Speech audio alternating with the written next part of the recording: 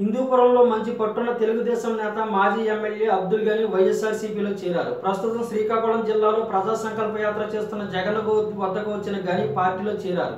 గనిని ఆహ్వానించిన జగన్ ఆయనకు పార్టీ కండువానికి కప్పారు. ఈ సందర్భంగా జగన్ మాట్లాడుతూ అబ్దుల్ వంటి ప్రజానాయకుడు పార్టీలో చేరడంతో హిందూపురం ప్రాంతంలో వైఎస్ఆర్సీపీ మరింతగా బలపడిందని అన్నారు. ఇదే సమయంలో గని స్పందిస్తూ నాలుగున్నరేళ్ళ పాలనలో మైనార్టీలకి చంద్రబాబు చేసింది ఏమీ లేదని వ్యాఖ్యానించారు. తెలుగుదేశం పార్టీలో మూడు దశాబ్దాలుగా తాను పనిచేశానని తనకు ప్రాధాన్యత ఇవ్వడం లేదని ఆరోపించారు. మైనార్టీలకు నాలుగు శాతం రిజర్వేషన్ కల్పించిన ఘనత వైఎస్ రాజశేఖర రెడ్డిదేనని ఆయన ఇచ్చిన ఫీజు రీఎంబర్స్మెంట్తో ఎంతోమంది విద్యార్థులకు అండగా నిలిచిందని అన్నారు. కాగా గత అసెంబ్లీ ఎన్నికల్లో హిందూపురం స్థానాన్ని అబ్దుల్ గని ఆశించగా ఆ స్థానం నుంచి నందమూరి బాలకృష్ణను టీడీపీ బరిలోకి దింపిన సంగతి తెలిసిందే. వచ్చే సంవత్సరం జరిగే ఎన్నికల్లోనూ ఆయనకు టీడీపీ టికెట్ లభించే అవకాశాలు లేకపోవడంతోనే ఆయన పార్టీని వీడారని రాజకీయ విశ్లేషకులు అంచనా వేస్తున్నారు.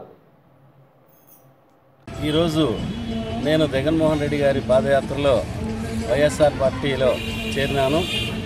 ముఖ్యంగా వైఎస్ఆర్ పార్టీలో మైనార్టీలకు అన్ని రకాలుగా రిజర్వేషన్ సౌకర్యం అయితేనేమి భద్రతా విషయం అయితేనేమి అన్ని రకాలుగా కూడా అనుబంధం ఉంది కాబట్టి ఈరోజు నేను ఈ పార్టీలో చేరి ఈ పార్టీకి సేవ చేసి తప్పకుండా జగన్మోహన్ రెడ్డి గారిని సీఎం చేయాలని చెప్పేసి సంకల్పంతోనే నేను పార్టీలో చేరుతున్నాను.